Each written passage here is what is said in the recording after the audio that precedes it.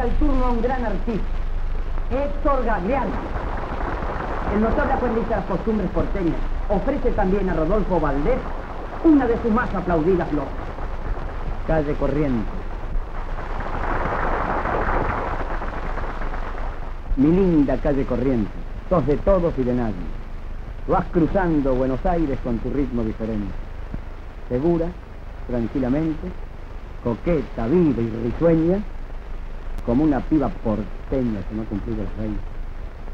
Sos hija de Luna Par con Avenida Madero, y te acunan los carteros frente al correo central. Y después que te ajustás